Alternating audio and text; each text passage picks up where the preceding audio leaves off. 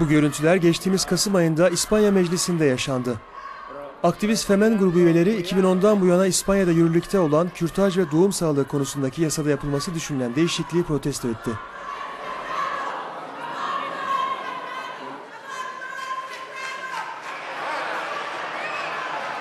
Adalet Bakanı bu kanunda daha kısıtlayıcı adımlar atılacağını belirtti. Yılda 120 bin kürtajın yapıldığı İspanya bu konuda Avrupa'nın zirvesinde bulunuyor. Ülke medyasına göre tartışmalı reform önerisi halkın çoğunluğu tarafından olumlu karşılanmadı. 200 farklı sivil toplum kurumunu bünyesinde barındıran bir platforma göre bu reform, kürtaj yaptırmayı düşünen kadınların çoğunluğunu yasal güvenceden mahrum bırakıyor.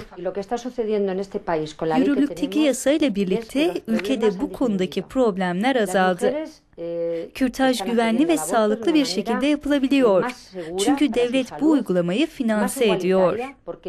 Ayrıca kürtaj vakalarında ciddi bir artış da olmadı. Bize göre yolunda giden bir şey varsa ki mevcut yasa çok iyi işliyor. Bunu değiştirmenin hiçbir mantıksal, tıbbi veya sosyal açıklaması olamaz.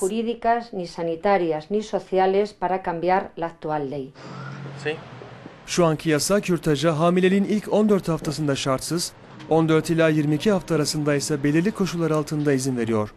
Bunlar cenin hastalıkları veya annenin fiziksel veya zihinsel sağlığının riskte olması gibi durumlar. Kürtajların çoğunluğu özel kliniklerde yapılıyor ve masraflar sağlık sigortası tarafından karşılanıyor.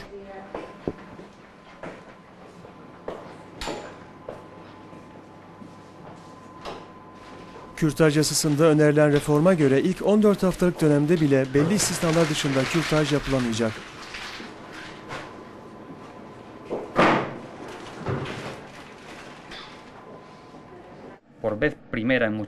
Yıllar sonra ilk kez kadınlar bu konudaki hürriyetini kaybedecek.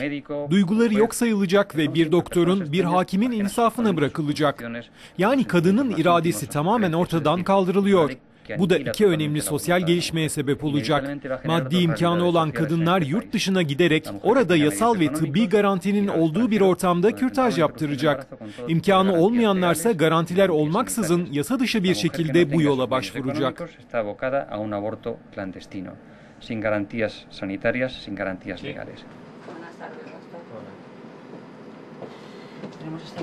Olga klinikte hastalarla ilişkilerden sorumlu.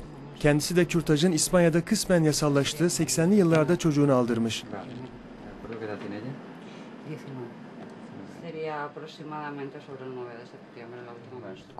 Tıbbi müdahale konusundaki şüpheler artacak ve ciddi ikilemler yaşanacak. Kadınlar ne yapacaklarını bilmeyecek. Kürtaj olursam beni tutuklarlar mı diye düşünecekler. Ayrıca herkes bunu duymuş olacak. Ben de kürtaj yaptırdım ve sonrasında kendimi çok rahatlamış hissettim. finalizó la intervención, lo que sentí fue un tremendo alivio. Ziyaret ettiğimiz bir diğer klinikte 15 yaşındaki genç bir kız annesiyle birlikte yüzleri gizli bir şekilde bizle konuşmayı kabul ediyor. Kürtaj yaptırmak isteyen 16 yaşından küçük kızların ebeveynlerinin rızasını almaları şart. Genç kız bize hiç kimsenin kendini kararından döndüremeyeceğini anlatıyor.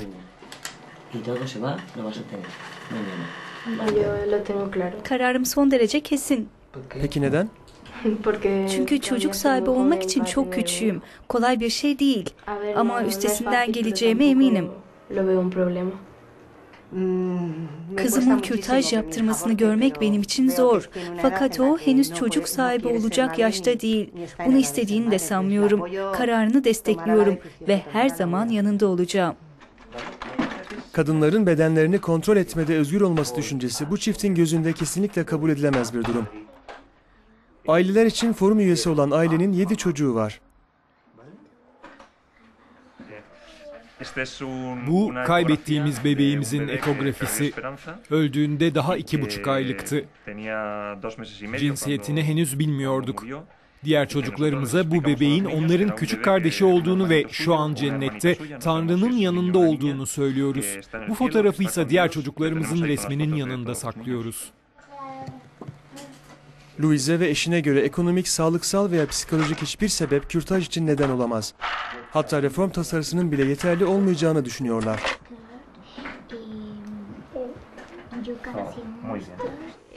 Bence kürtaj İspanya'da tamamen yasaklanmalı. Kadına elbette her durumda yardımcı olunmalı. Özellikle de hamile kaldığında.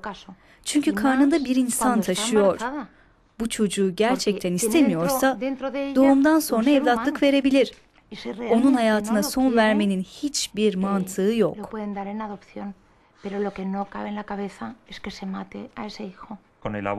Kürtajla birlikte medeniyetimizin temellerini ve değerlerimizi yok etmiş oluyoruz. İnsanların yapmış olduğu en büyük hatalardan biri bu bence.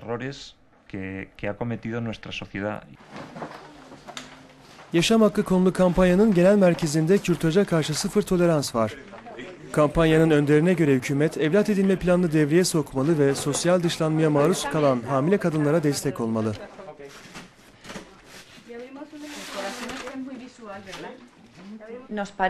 Bizce bir çocuğun yaşama hakkını elinden almak sosyal bir problem ve büyük adaletsizlik. İspanya'da kürtajı finanse etmek için 40 ila 50 milyon euro harcıyoruz. Fakat hamile kadınların sorunları için ayrılan para sıfır. Yakın zamanda yapılan bir araştırmaya göre İspanya'da kadınların dörtte biri ekonomik sebeplerden dolayı kürtaja başvuruyor. Madrina adlı vakfın en büyük amacı zor durumda olan anne ve hamile kadınlara yardım etmek. Onlara gıda, ev ve iş bulma noktasında destek sağlıyor. Kriz zamanında ilk kesintiye gidilen konulardan biri annelere yardım oluyor. Bugünlerde ise küresel bir kriz yaşıyoruz. Bence gelecek annelere ve gençlere destekten başlar. Konut edinme, iş imkanı sağlama ve eğitim gibi alanlarda onlara yardımcı olmalıyız. Hogar, un empleo, una formación. Bu genç annelerin hepsinin en az bir çocuğu var ve burada üniversiteye gitme ümidiyle ders görüyorlar. Çoğunluğu yaşadıkları yoksulluğun kürtaj için kesinlikle geçerli bir sebep olamayacağını düşünüyor. Fakat diğer olası nedenler konusunda fikirler farklılaşıyor. Y a ver, espera, espera, espera. ¿Verdad? Que es, estudien qué tipo de Ellos. İlk zamanlar hep şunu diyordum. Genç yaşta hamile kalırsam kesinlikle kürtaj yaptırırım. Çünkü her şeyin bir zamanı var ve o zaman gelmeden eğitim gibi birçok şeyi yapabilmeliyim. Fakat öyle olmadı. Hamile kaldıktan sonra içimde yaşayan bir can hissediyordum ve onu aldıramadım. Kürtaj bence sadece çocuk problemliyse kabul edilebilir.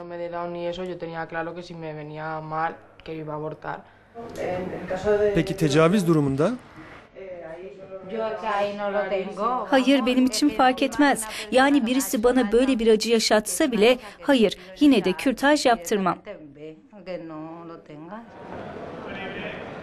Avrupa ülkelerinde bu konuda farklı uygulamalar bulunuyor. Bununla birlikte Avrupa Parlamentosu kürtajı temel bir hak olarak kabul eden raporu oylamayı reddetti.